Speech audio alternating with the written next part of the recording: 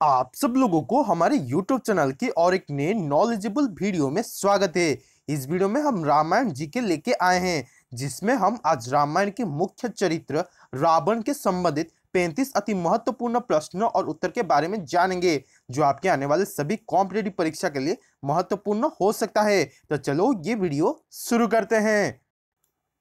Video शुरू करने से पहले आपसे एक अनुरोध है कि हो सके तो ये वीडियो पूरा शुरू से लेकर अंत तक देख लीजिए। आप बहुत कुछ जान जाओगे। ये रहा पहला सवाल। रावण किस युग का एक प्रमुख राजा था? अगर आप लोग जानते हो तो कमेंट सेक्शन में लिख सकते हो। इसका उत्तर है त्रेता युग, जिनको हम त्रेतया युग के नाम से भी जाने, जानते हैं। तो रावण त्रेता युग का एक प्रमुख राजा था। जैसे आप लोग जानते हो कि रामायण त्रेता युग में हुआ था। इस गिरा दूसरा सवाल, रामायण में रावण किस नगरी का राजा था?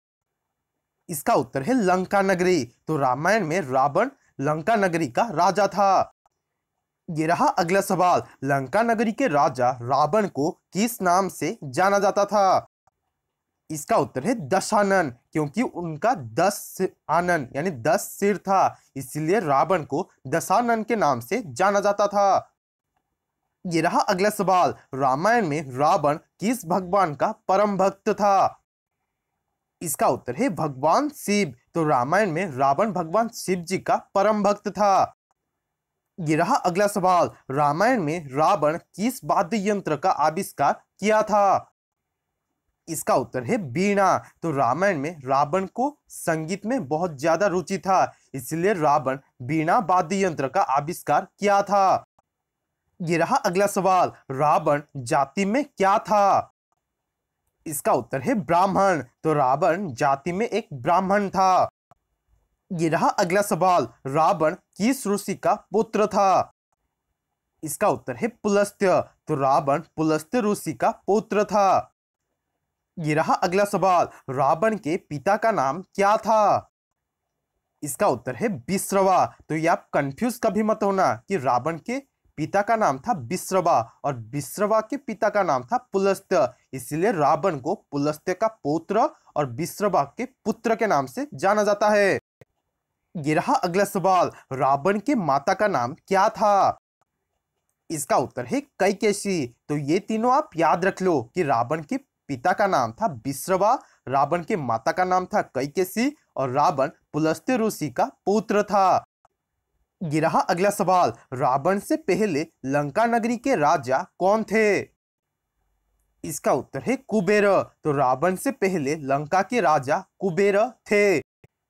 ये रहा अगला सवाल, रावण को कितने शास्त्र और कितने वेद का गुरु माना जाता है? इसका उत्तर है छह शास्त्र और चार वेद, क्योंकि रावण छह शास्त्र और चार वेद को पढ़ लिया था, इसीलिए उनको इन इन सभी का गुरु माना जाता है। ये रहा अगला सवाल, रावण के राज्य लंका को और किस नाम से जाना जाता था? इसका उत्तर है सोने का नगरी, क्योंकि रावण ने लंका को पूरा सोने से सज्जित किया था। इसीलिए रावण के राज्य लंका नगरी को सोने का नगरी के नाम से भी जाना जाता है। ये रहा अगला सवाल। पद्म पुराण अनुसार किस व्यक्ति दूसरे जन्म में रावण के रूप में जन्म लिए थे? इसका उत्तर है हिरण्याक्ष नामक व्यक्ति। तो पद्म पुराण अनुसार हिरण्याक्ष व्यक्ति दूसरे जन्म में रावण के रूप में जन्म लिए थे। गिरहा अगला सवाल। रावण की पत्नी का नाम क्या था? इसका उत्तर है मंदोदरी। तो रावण की पत्नी का नाम है मंदोदरी। गिरहा अगला सवाल। रावण किस विद्या में सबसे निपुण था? इसका उत्तर है तंत्र विद्या। तो रावण तंत्र विद्या में सबसे निपुण था। ये रहा अगला सवाल। रावण किस ग्रंथ का रचना किया था?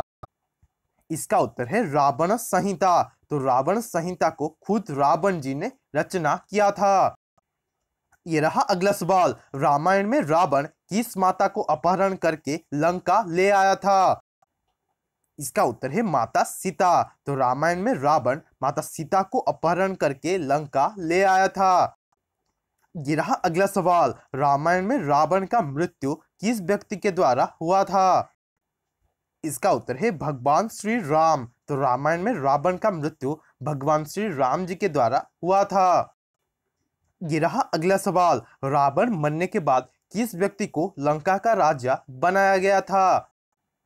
इसका उत्तर है विभीषण, जो कि रावण का एक भाई था। तो ये आप याद रख लो कि रावण के पहले लंका नगरी के राजा थे कुबेर और रावण मरने के बाद लंका नगरी के राजा थे विभीषण।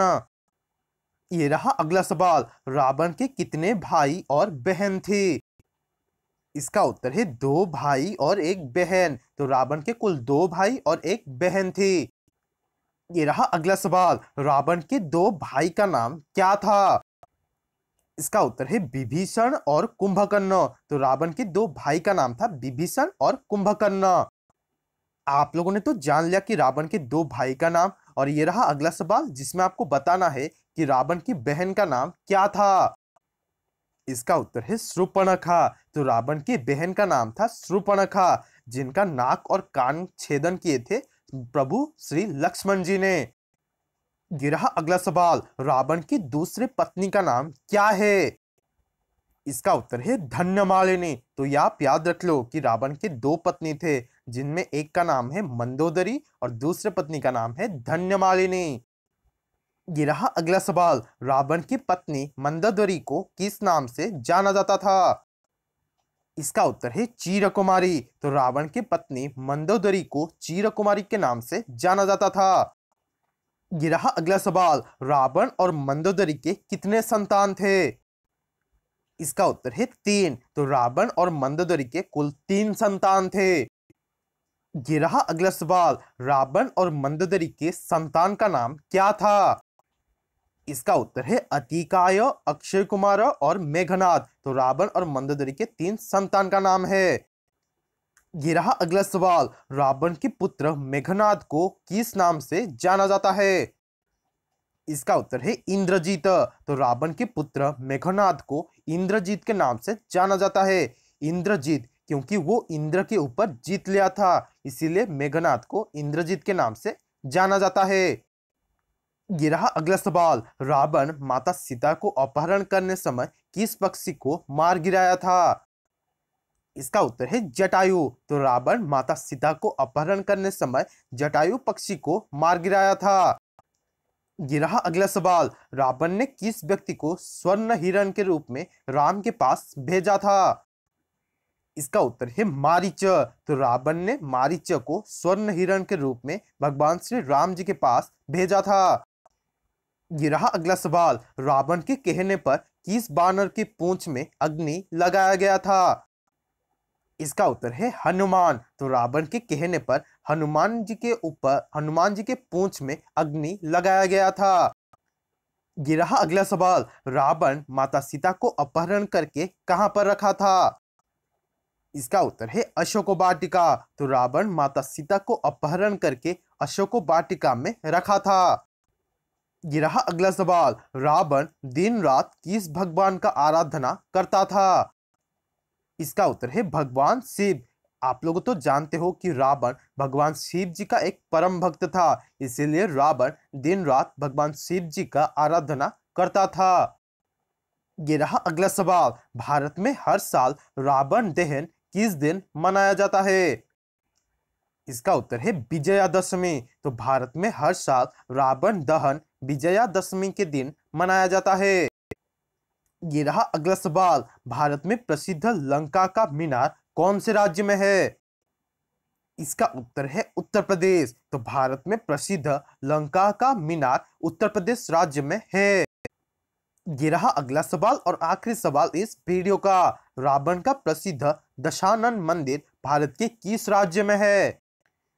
इसका उत्तर है उत्तर प्रदेश राज्य के कानपुर शहर में। तो रावण का प्रसिद्ध दशानन मंदिर भारत के उत्तर प्रदेश राज्य में है। आप लोगों को ये वीडियो कैसा लगा और आप ये पैंतीस सवाल में से कितने का सही जवाब दिए थे, हमें कमेंट सेक्शन में ज़रूर बताना। और हो सके तो वीडियो को शेयर कर दीजिए ताकि भारत के सब बच्चे इस आधुनिक युग में रामायण के बारे में थोड़ा जान सके। और चैनल को सब्सक्राइब कर लीजिए ऐसे ही ज्ञान पाने के लिए। वीडियो देखने के लिए धन्यवाद।